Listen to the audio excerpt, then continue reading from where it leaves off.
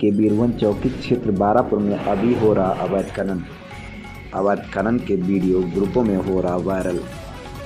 खनन माफियाओं के हौसले बुलंद, तहसील प्रशासन पर जनता का आरोप। प्रशासन अवैध खनन पर रोक लगाने में साबित हो रहा नाकाम।